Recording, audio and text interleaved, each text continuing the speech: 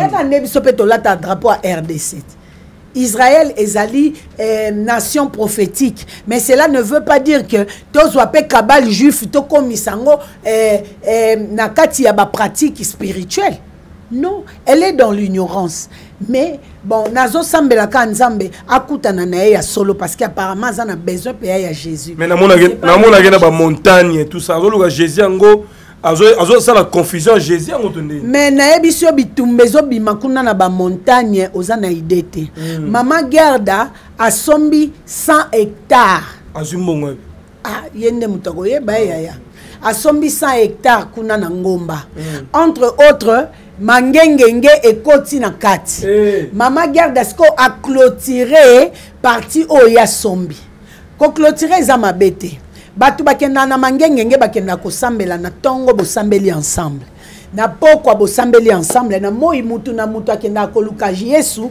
na intimité ya ye moko sikoyo bapanzanaka me sikoyo na kopanzana wana ezokɔta kaka na kote ya mama gerda mama gerda olie atika bato basambela na ndenge na bango te mama gerda ndenge atie porte atie foto ya jésus na ye wana mm. akomi kofaire confesse bato so olingi okota na kati okonfese makambo oyo ye akoloba na yo avant ke yo okota ngai na oke kokonfese na alliance na yo ngai nayebi jésus na yo te nayebi nzambe na yo te ngai nakoke koconfese ntango ntango oza koconfese oza kosalie na alliance oyo ye aza nango na jésus na ye wana ya foto ebimi voire meme mosomba mpe aire moko ebimaka yo yaka na maison shekati toza kosoigne yango misusu mpe aza wana azoyoka kaka bagaze pambapamba bacourbature mapeka ondire bamemisi yo biloko eh, omemi charge eza baproblème ya hémoroïde na mwasi lokola na mobali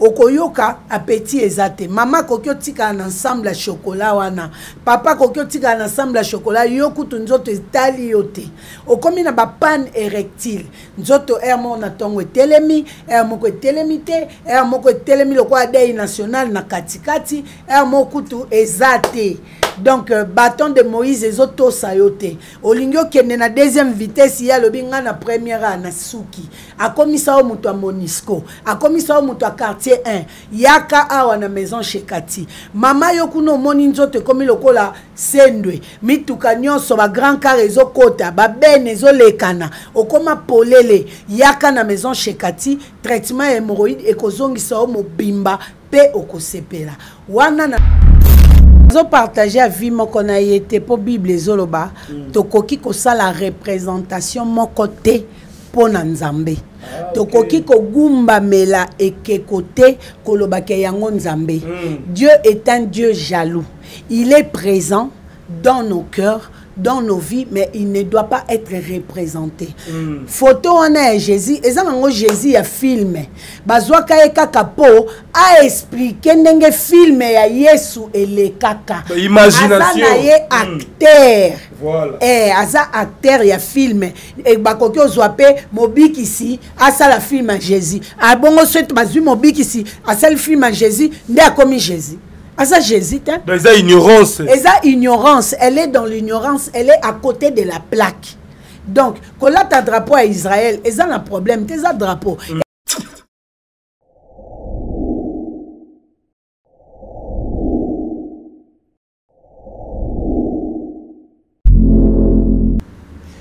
Merci et bonjour euh, à la communauté. Mesdames et messieurs, très chers amis téléspectateurs, nous voici devant vous nous sommes euh, au cabinet de Mama Cathy Munga. Je crois que vous la connaissez très bien. La naturothérapeute est là. Mama Cathy, bonjour. Bonjour papa Jérémy Luemba,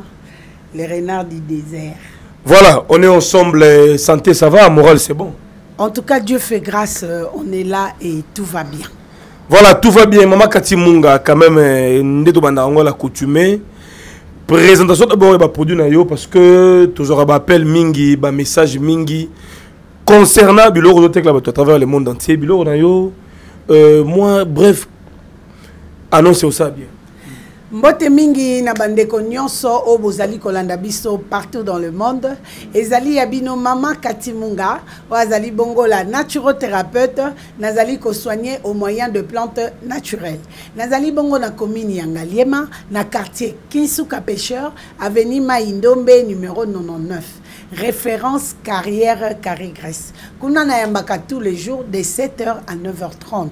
Consultation ezali bongo na 15 000 francs congolais pona bandeko nyonso ya Kinshasa pe 10 dollars pona bato bazalaka na disponibilité te ya koya sur place na cabinet to pe bazali ailleurs. Et numéro de contact na ngai ezali plus 243 82 2012 deuxième bureau na nga ezali na commune ya kalamu na quartier matonge na veni ikelemba numero a 9 kuna mpe nazali kotravaille tout le jour de 12h30 à 15h30 consultation kaka ndenge tolobaki 15 000 francs congolais mpe 10 dollars mpo na bandeko oyo baconsultaka na telefone nasengi na bino abonnement massive na chaîne na biso ya nation puissante télévision pe nasengi ba partage bo aime bobenga biso na plus 243 82 20 12 voilà merci beaucoup mama kati munga donc euh, tozali awa ah, eza spécialité ya baproduit naturel fait à base ya baracine baécorce baplante je crois que évolution ya mosala ça va est ce qu'il y a des témoignages evolution ezokende kitoko mama kati en tout cas évolution ya mosala ezokende vraiment malamu mm. par la grâce de dieu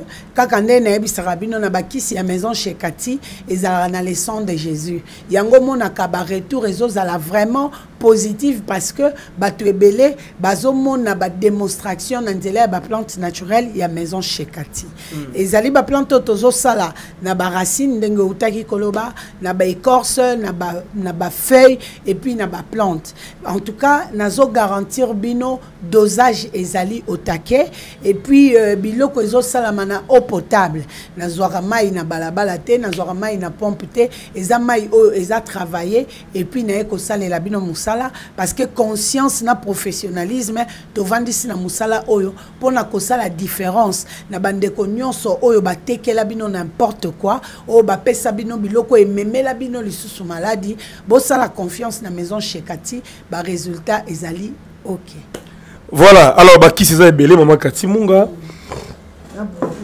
bongama mpena ozwa ntango explike bango koma la coutume hein? mm. Mm.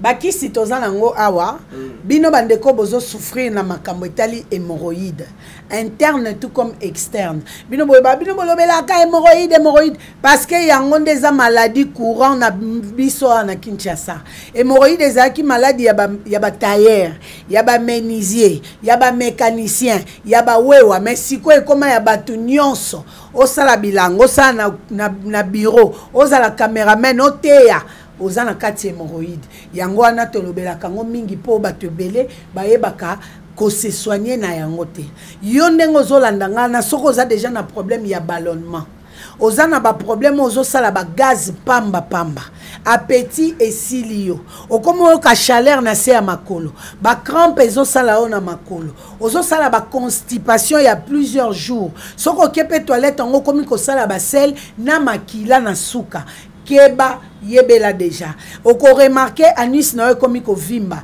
anus ezosala mpasi ezosala mokosa ebimisi yo mpe bambuma autour soki mpe ofini mbuma moko omona tofine ebimi voir meme mosomba mpe aire moko ebimaka yo yaka na maison shekati toza kosoigne yango misusu mpe aza wana azoyoka kaka bagazi pambapamba bacourbature mapeka ondire bamemisi yo biloko bi eh, omemi charge eza ba problème ya hémorroïde na mwasi lokola na mobali okoyoka appétit eza te mama akoki otikala na ensemble ya chokola wana papa akoki otikala na ensemble ya chokola yo kutu nzoto etali yo te okomi na bapane érectile nzoto aire moko na ntongo etelemi aire moko etelemi te aire moko etelemi lokola dei national na katikati aire moko kutu eza te donc euh, baton de moïse ezotosa yo te olingi okende na deuxième vitesse ye alobi ngai na première a na suki akomisa yo moto ya monisco akomisa yo moto ya quartier 1 yaka awa na maison shekati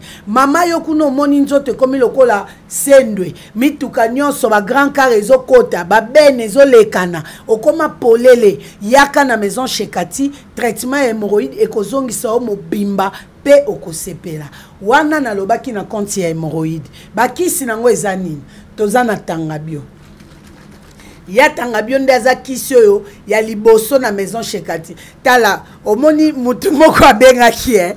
abi jérémi olekisi yo bandomela biloko amakaka ti ofele ti wapi pesa mbo te topesa bango apeti apeti ya komela tanga bio exemple nao eleki eh. jérémi ti na ba téléspectateur bakoma oloba pesa mbongo yo soki obateli ye moko yini oyebi ka tante osala émission ya makati nabeta mwa nazwa soulagement mabe ege tozonioka mame kita mata kita mata eh. tanga bio toujours eh, yo olingaka jeune boye hmm.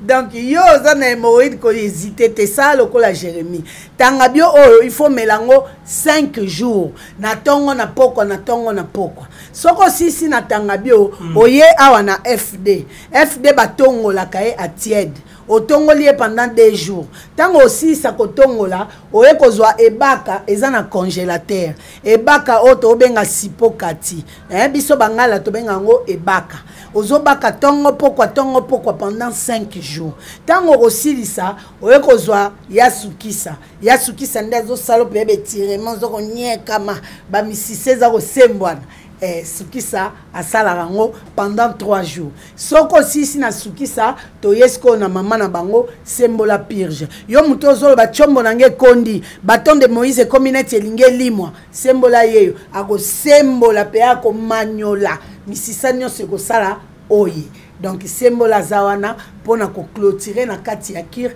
ya hémoroïde sikoyo na ye awa bandeko boza na problème ya bainfection mm. bolanda nga malamu mm. yo obandi koyoka mikosa na maboko awa mikosa na makolo bambuma ebimi oyo ya mike mike mikolo babuibui ezali oui. mais oyo nazolobela eza buibui te oyo nazolobela eza makwanza oyo tobengaka autrefois kwakara eh, boyebi yango nde esalaka esalaka mikosa na baparti intime mm. yango tobengaka bato wana oyo bakwanyaka kwanyaka baflamme kapaya oza kaka kwaka kwaka yo guitare te mai oza koyembisa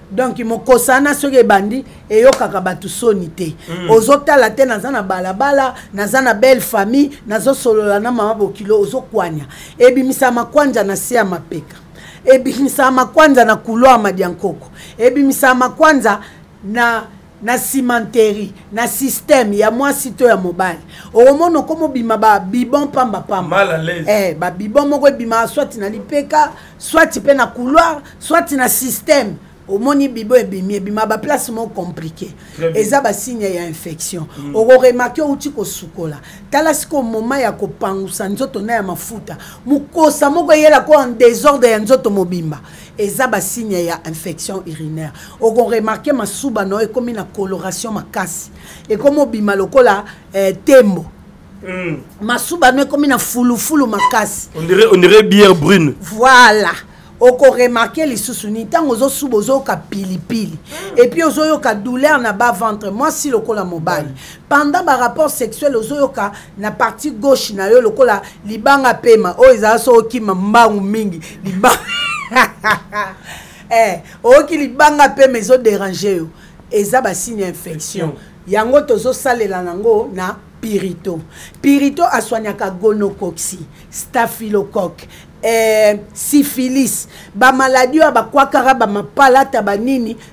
pirito abeta yango dada donc yaka na consultation ozwa pirito na yo osilisa ngambo ya infection urinaire toye kokɔta sikoyo awa soki nasangisi pirito fortipro booster wana tokoti na prostate ah, bandeko ya prostate eh? Eh. mingi mingi mibali eh, bapapa eh, mm.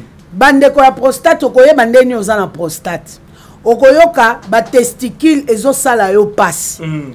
okoremarke nini ozosala sele mais sperme ezobima yo liboso ememaka mpe faiblesse sexuelle parce que glande benini na yo egonfle yango esalaka ke masuba ekomi kobima mokie mokie mokie okoyoka mposa masuba oke kosuba me masuba ebimi kaka mokie epuis ekati mais ozo sentir que vesi na yo esili te mm. masuba eza kaka epuis bato wana na butu balamukaka ba 4 5 fois asubi ntango azozongisaka baton de moïse masuba eso ebimi na caleson yango omonaka bapapa wana alati bien aza na sola parfum me aza mpe na sola masuba eza teke mwana asubeli ye bacenge oyo ezobimabima yango ezopesa ye solo eh, donc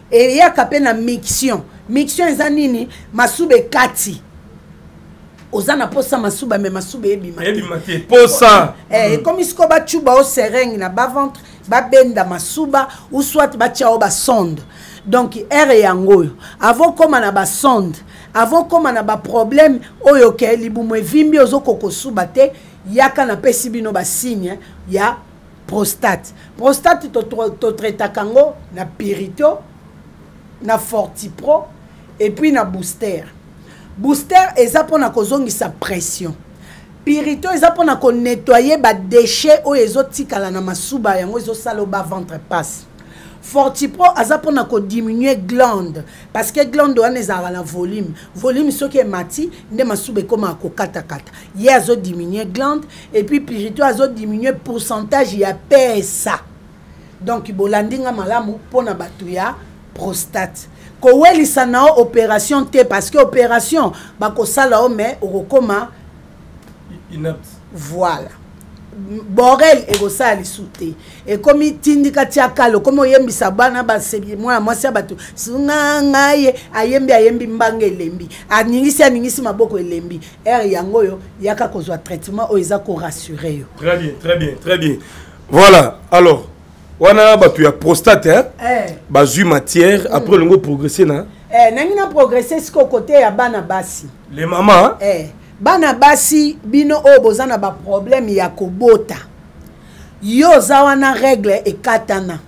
mosusu règle esotaka sotaka mwa moko regle de mwa oza na pause règle ekomeli yo lokola fruit ezoya na saison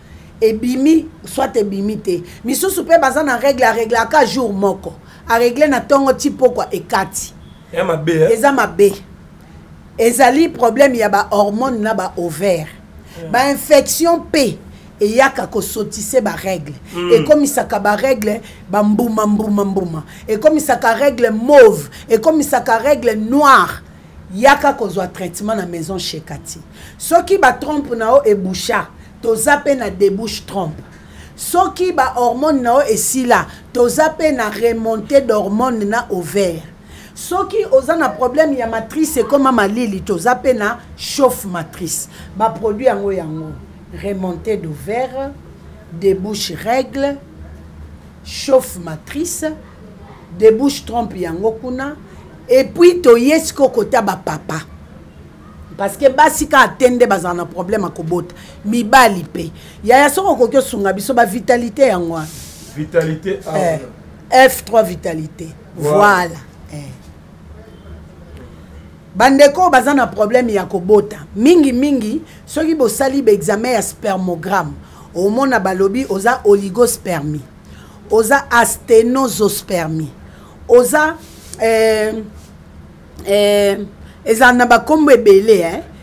soki oza na baka wana ke balobi oza na problème ya sperme okoki kobotisa mwasi te yaka na maison chez Cathy toza na F3 vitalité A F3 vitalité B na F3 vitalité C bakisi oyo misato esalaka nini ezopesa yo motilité ezopesa yo concentration ezopesa yo vitalité mpe motilité progressive yango nde esalaka ke mataka ya mwana mobali ezala na motu na mukila ensemble na yango nde tobengaka yango sperme sikoyo soki eza na problème omona le mosusu motu eza te mokili eza te le mosusu mpe eza nango mobimba mais eza na vitalité te eza na concentration te traitement nango ezali soki ozwi traitement lobilobi bakobengo tata mapasa lobilobi bakobengo papa ya gelor papa ya bibiche yaka na maison shekati traitement ezali awa tokataka motu nzoloko te topesaka mutu singa na luketu te topesaka te ozwa kifunda okende kokunda kota sia mutu ya papa kende kotyango na sia kusin te biso topesaka bakisi ka nde naolakisa bino boye donc yaka kozwa traitement na yo en toute sécurité mpo lobi baresultat ezala palpable toye sikoyo awa Na ye awa mwamba papa. Mwamba papa azali traitement te. toyokana malamu mm. yo oza na problème ya faiblesse sexuelle éjaculation précoce yaka kozwa nde traitement mwamba papa azali dépannage mpo na bato oyo aza na devoir conjugal mais awuti mosala alembi fatigue alie te énergie eza te mwamba papa azoya kotindika kale Mwamba papa azokomisa yo diogo. Mwamba papa azobetisa yo na attaque. Mwamba papa azostimule. Aza stimulant sexuel mais naturel. Ye eza avant match. Voilà. 30 minutes au lieu cuillère à café. Kosala neti pasteur Denis Lessi te. Yo zwa cuillère à café kaka au lieu 30 minutes avant. kozwa lutu oyo tolielaka loso te lutu oyo toleisaka babebe mpo mm. mwamba papa azalaka makasi soki olekisi oyoka motu mpasi alors mpo osala makambo na yo na elengi nyonso respecte dose témoignage mpe ezali e mizwa otyela biso témoignage ya mwamba papa oyoka nde papa wana azoloba makambo mwamba papa esali donk kobukana te mwamba papa akendaka partout e akata akotisela biso témoignage wana Bunga bonjour oyebi que mwamba wana na biso que ya somo eza somo ya somo na biso wana melangeaki wana power na soki degat mama kati munga mwamba na yo wana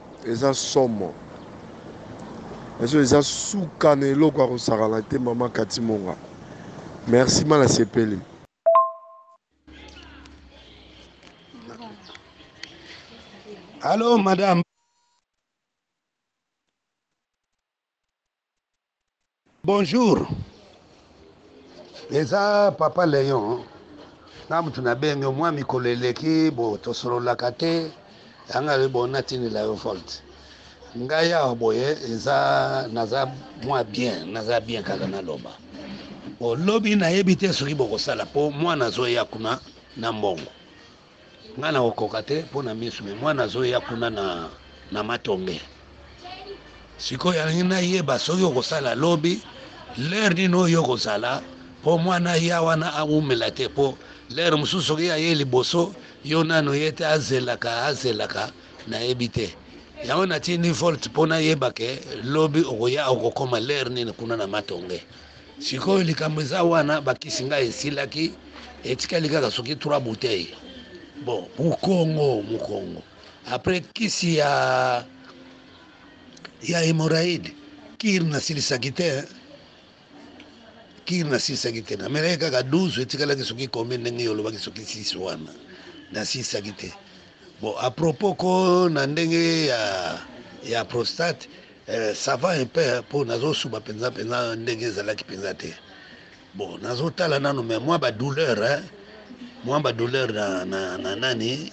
ezali mwa ba douleur ya mike eh, sikoyo ngai wino yo oza docteur ndenge nazomona nyonso ofonga nayebisa yo mpo yo oyeba Omoni tanto oko changer kisi nayebi te yango nabengi mpo ntindili yo volte mpo oyeba ndenge ngai naza komona omoni banomali mokongo eh, kosuba mwa mpasi moke eh, bo nayebi te lokola kisi wana ediminaki wana yango nazosuba me ya mingi ndenge ezalaki te mpo par rapport naza kosuba ba 8 fois Mais sikoyo nde namoni mwa changement moke nakomi na ba 5 5 fois 6 fois omoni yango nabengi yo mpo nayebisa yo soki lobi okozala natinda mwana napesa ye na 100 dollar azoya na yango komsa natikala na 200 et quelque ah. merci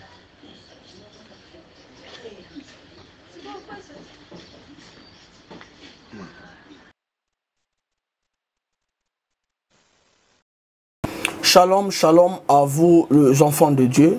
Na Pesibino Mbote na Kombo na Yesu. C'est bien moi votre frère, le pasteur Israël Nash. Je vous salue au nom de Jésus. Je suis précisément à Kinshasa. Naza responsable ya Ophelina. Jésus est mon papa. Na ye liboso na bino pona représenter bino bana oyo bozomona na bilili pe ba difficulté toza nango.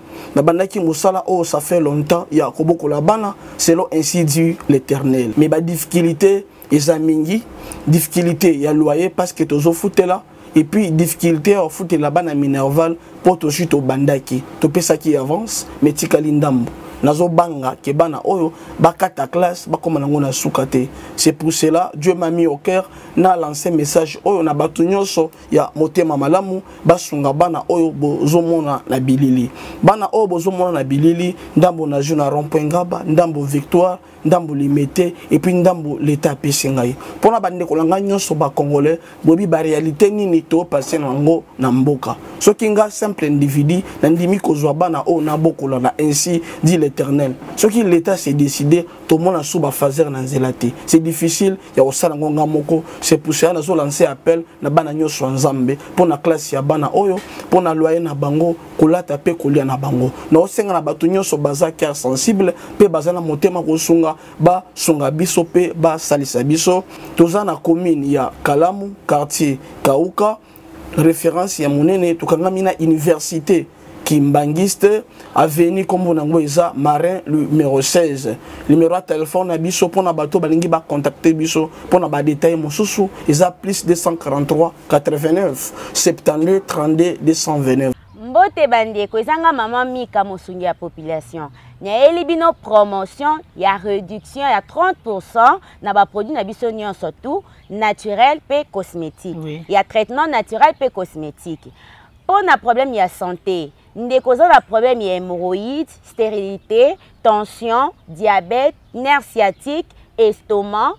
myome faiblesse sexuelle éjaculation précoce mbudimbudi bandeko boya basolution ezali bakisi ezali ebele eza très efficace tobuki baprix na 30 Côté cosmétique, toza na ba produits na biso tel que thé métis, oui. toza na thé métis, toza na crème de beauté Mika, mafuta ya kopakola, toza na savon, savon na biso goma oyo ezo traité, eza contre ba tache, ba acné, ba bouton mpe ba vergeture.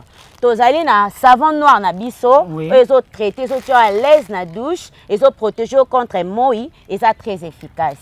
tozali na crème de visage na biso ezo embellir elongi ezo rendre elongi lisse mpe très propre très agréable tozali na huile d'anana solution yango oyo mpo na bapo sèche nyonso tout solution ezali toza na lotion tonique mpo na bato ya mhm. tampon toza na lotion tonique mpo na bato oyo baza na tampon te mais mpo eza abime tozali na gommage faite à base de café ezo rendre elongi propre ezo longola ba bouton nyonso to ezo kende na ba graisse oui. tozali na pommade ya suki pe huile ya suki ezali très efficace oa na problème ya libandi suki ekolaka o bien te ba produit yango oyo e très naturel ezo bongisa ba très très naturel kaka ndenge mama alobi na pommade anti sola mapeka ndeko yo ozali na problème solo odegageaka otranspiraka mm, mm. mingi solution yango eye pomade anti sola mapeka bobosana te toza na promotion réduction ya 30 na baproduit na biso nyonso kote wana tobuki na biso kote oyo toza na bakisi na biso mpe ya poussière oui. ya bokoko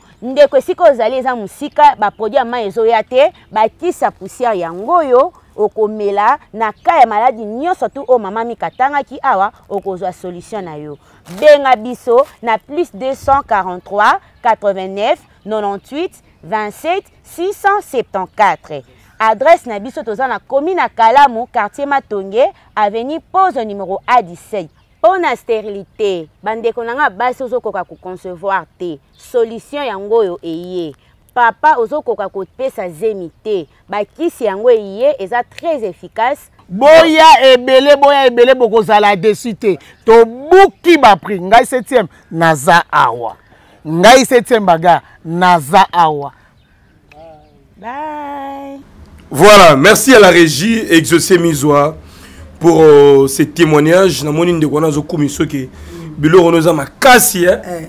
en tout cas lelo naye na décision makasi naye na énergie mingi mpo hmm. nalingi boya nde bodécouvrir botala nga ka ya pamba te botinda bato hmm. soki bino botinda bato te nga na olia ndenge nini bible ezoloba oyo akosala te alia te ngai naza na mposa nalia yango nalingi kosala bino botinda bato mpo bato wana mpe batinda batemoignage nde baninga batindi mpo erassure mosala tozosala voilà parfois l'ignorance tue c'est ah. vrai baréalité eza ebele bandeko mosusu baza na bamikili kutu ya poto mm. là où ya la médecine évolue mm. mais batamboli tamboli ya aucune solution oui. mais soki oye na bokoko opesi chance mm. otie na fo obiki mpe eh.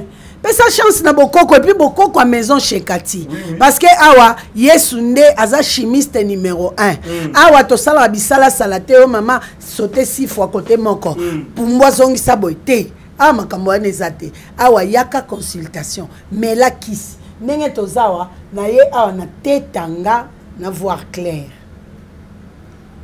teta ngai na voir clair oyo mm. voir clair ezo soigne bato oyo baza na problème ya glaucome glaucome eza nini eza maladi ya miso maladi ya miso oyo etangaka mai babeti yo te ozwi sango ya liwa te miso ezotanga mai esuki wana te miso ezokoma rouge yango moko ndire moto ameli diamba omeli mpe diamba te yango moko kaka miso ekomi lokola mabele eza na kati ozoyoka lokola bazelo miso ezovimba miso ezosala mpasi oza na besoin ya voir clair mpe oza na besoin ya tetanga tetanga azosoigne tension azosoigne diabete azoremonte pourcentage ya barin Yo oyo nanu batie yo na dialyse te yoka nga malamu yo oyo balobi ke bareine na yo ezofiltre te pourcentage na yango eza kokita yaka welisa na teta nga avokende rendez-vous na yo ya nsima teta nga hmm. hmm.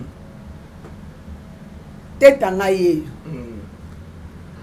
donc aza na bouteille ya mayonnaise eh, aza na bouteille ya mayonnaise teta nga azofiltre barin azomatisa pourcentage bandeko baza na problème ya nerf sciatique boza kaka na besoin tetanga bino bandeko boza na problème ya goute boza kaka na besoin tetanga bino bato boza na problème ya rhumatisme boza kaka awa na tetanga tetanga oyo azo renforcer système immunitaire azo renouveler bacellule azo brûler bacholesterole teta nga azo soigne ba maladie respiratoire o nga na belaka pema nga naza moto ya asme ngai sinizite esilaka te nga naza na problème ya insomnie nga naza na problème ya apnée du sommeil bato balalaka na bapareil mpo na faux pape akoki okende soki mpe mekati appareil wana ezwi relève boza na besoin ya tetanga tala garantie ozozwa na produit naturel ezosécurise yo kobanda motu ntina makolo nga motu mpasi esilaka te ata nakangi kitambala ndenge tokanga na lukika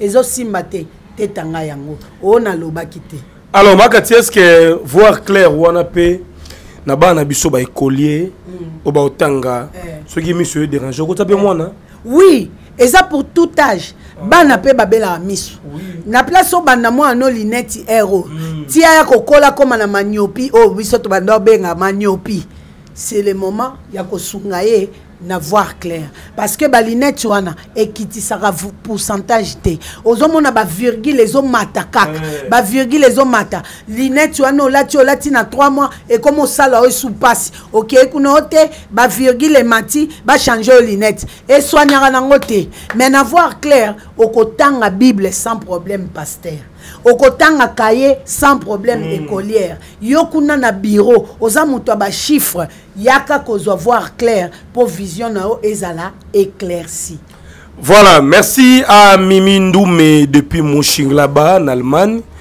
na remercier sema mayasi femme légitime agenci mayasi forza italia Les célèbres Dieu Nzundu na Washington et pourquoi pas à mon président Pedro Mutu, leader à jeunesse, association main dans la main depuis la ville Fontaine aussi partout en France.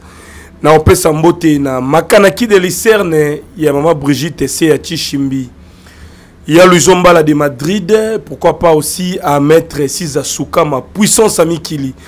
Maman Katita Ngozo pesa explication na pense mbala moko na mama gerda mm. femme oyo abimi azwaka foto ya jésus azobeze akangi foto ya jésus alobi abala yesu mm. epuis azotutuka tutuka nayebi te yo mpo oza moko ya baservante de dieu bon ce genre d'action wana jésus ya foto akomisi mobali na ye tout ça epuis azolataka mingi drapeau ya israel oza quand même euh, kopartage avis moko na ye onction na ye ozomona ndenge nazopartage avis moko na ye te mpo bible ezoloba mm. tokoki kosala représentation moko te mpo na nzambe ah, tokoki kogumbamela ekeko te kolobaka yango nzambe mm. dieu est un dieu jaloux il est présent dans nos cœurs, dans nos vies, mais il ne doit pas être représenté. Mm. Photo on a Jésus, et ça Jésus a filmé.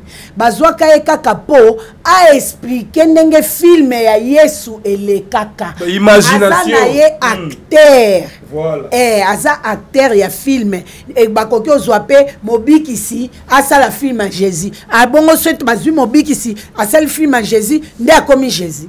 aza jésus te donc eza ignorance eza ignorance elle est dans l'ignorance elle est à côté de la plaque donc kolata drapeau ya israël eza na problème te eza drapeau mm. eyaka nde biso mpe tolata drapeau ya rdc Israël ezali euh, nation prophétique mais cela ne veut pas dire que tozwa mpe kabale juif tokomisa yango euh, euh, na kati ya bapratique spirituelle non elle est dans l'ignorance mais bon nazosambela kaka nzambe akutana na ye ya solo parce que apparemment aza na besoin mpe ya ya jésus mais namonaki na bamontagne tout ça azoluka jésus yango azosala confusion jésus yango to ndenge mais nayebisi yo bitumba ezobima kuna na bamontagne oza na idée te mm. mama gerda asombi 100 hectare azwi mbongo ah ye nde moto akoyeba ye yaya asombi 100 hectare kuna na ngomba mm. entre autres mangengenge ekoti na kati eh. mama garde siko aclotire parti oyo ya sombi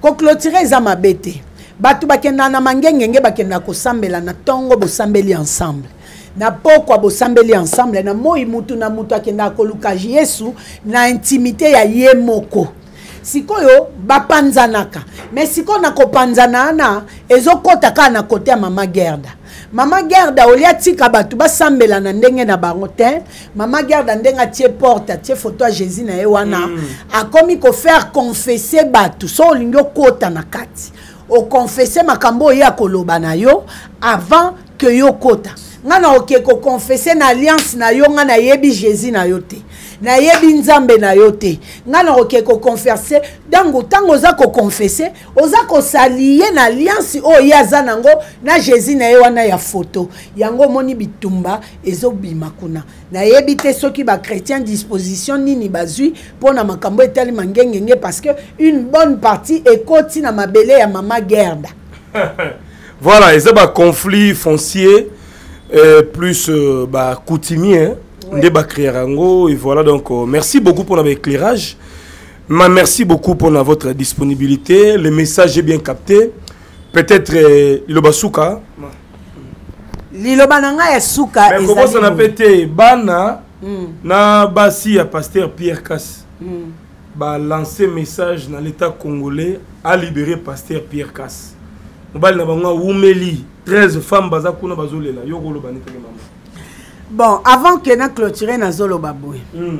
nul n'est au-dessus de la loi mm. libération na ye ezodépendre na temps oyo l'état ekateli ye koloba to koloba te leta nde akotala soki fo azala libere soki azala libere eh, kasi bazela samba mm. soki aza innocent balibere ye soki aza innocent te akopurige ka peine na ye mpo mm. eteya bapasteur oyo baza koabuse na bana ya bato na basi ya bato bayaki kosambela mwasi ya bato azalaki marie pasteur akangi mobali na ye ndoki alelobi akomi mobali ya mwana, ya mwana mwasi wana basilisi bajeune fille na bacorale basilisi bajeune fille na baprotocole basilisi bajeune ba fille na, na, ba, na service ya intercession biloko oyo epesa leçon parce que bapasteur bazomona ondire bango bakoki kokanga bango te bango bakoki kosala bango eloko te Or marche na bango eza mabe ezosambwisa nkombo ya Jésus Christ. Soki il faut ba punir pasteur Kas mpo e servir na misusu leçon,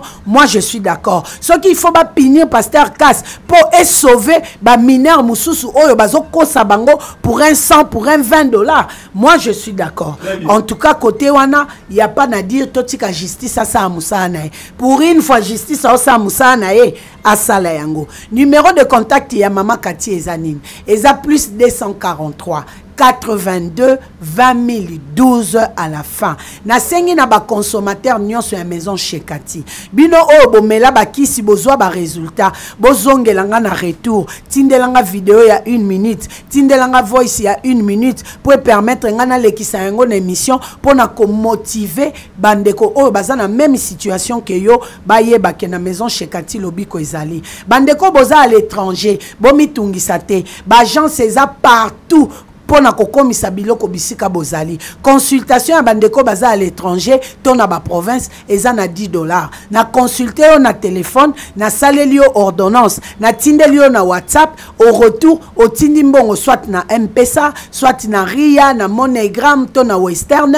ngai nakotiela yo biloko na agence ekei kuna bisika yo ozali soit otindi ndeko na yo aye kozwa biloko na yo ye moko ake koafretele yo en tout cas mpo na bakisi bomitungisa te partout okozala kisi na yo ekokoma nasengi na bino bosabone massivement na nation puissante télévision napesi merci na le renard du désert mpo na descente na yo esali quand même mikolo ebele merci na équipe mizwa ndeko na biso na caméra komona eza esu nani guy merci mpo na prise de vue et puis merci na évangéliste michel ekuchu mpo na port na yo na mosala na nga merci na équipe mobimba ya maison shekati sans bino mosala ekosalama te merci na baconsommateur ya ntongo mpe na baabonne ya ntongo nga na bino tozokoba kaka soki kolo yesu azongi te nde tomonani mbala ya sima bisous bye voilà mesdames et messieurs terrain yango oyo ezotekama eza tellement plat eza vide eza libre awa to na quartier nini ah, toza na quartier bel air quartier bel air dimension ya lopango eza ndeni parcelle eza 16 mètre sur 20 16 mètre sur 20 eh, badocument eza complet makambo tu badocument nyonso eza complet Hmm, donc soki moto asombi yango ya pas débat awa moto so asombi topesi badocument na ye toke mpe na quartier overfie hmm. eza à l'aise voilà donc euh, lopango yango oyo ezotekama à un bon prix profiter donc euh, je crois bavoisin bazali quartier eza na courant eza mpe habitable oui, quartier eza habitable mm. mai ezali makambo nyonso eza kimia voilà donc euh, bandeko na yango bozomona toza awa na kinshasa eza commune nini commune ya nsele commune ya nsele quartier nini quartier bel air quartier bel air donc benga biso numero yango wana etala commentaire yango oyo e, tobandi kuna lo elakisa biso tobandi na coin wana euh, papa kapo tia loboko hmm, bandi na cole wana epuis lakisa biso esika e, esali 16 mètre voilà na bakole bakole na coin mm. jusque là mm. ezwi angle wana mm. epuis toye vers ndako donc voilà lopango eza bien tracé eza na balabala e, lakisa bapondu koto oyo eye esuki quelque part awa epuis kuna likolo donc euh, tout est bien merci beaucoup on est ensemble pour de vrai voilà nous continuons mesdames et messieurs comme vous le remarquez awa naza na commune ya maluku donc euh, en face de moi ezali euh, zone économique bozomona ba différentes euh, sociétés en pleine construction na partie oyo ya maluku donc euh, l'état azo koimplante basociété les expatriés aussi sont là alors papa capo nde moto aguide biso sur ce lieu botie double terrain en vente monde entier baotala biso dimension ya terrain eza ndenge nini ah, dimension nango ezali eza na largeur ya 20 mètres mm. donc na boye aza 20 mètres mm. en regardant le fleuve aza 40 mètres donc c'est 20 sur 40 20 sur 40 soki moto aye somba terrain moko bokotekela ye obe botekaka le tout ensemble bon on préfère vendre le tout ensemble mais euh, n'empêche que euh, moto mpe asomba na ye moko voilà ça c'est bien espérons que le prix eza mpe abordable hein? oui le prix euh, est abordable mm. Eh, mais toko fixe prix euh, soki moto abengi mm. asali appel topesi ye prix et puis on parle voilà numéro ya contact euh, mpo na espace eza eza ah, numéro ya contact ezali 089 835 88 88 089 835 88 88 alors namoni mpe euh, mwa annexe eza wana hein.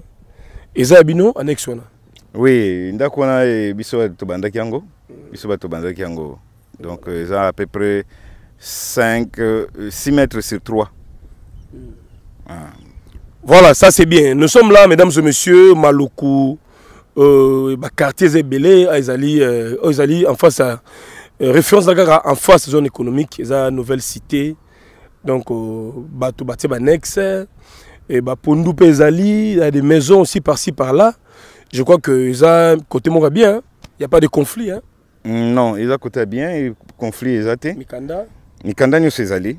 Mm. Donc euh, na likolo kuna soki otali likolo mm. zamba ezomonana ezali concession ya midema ah, okay.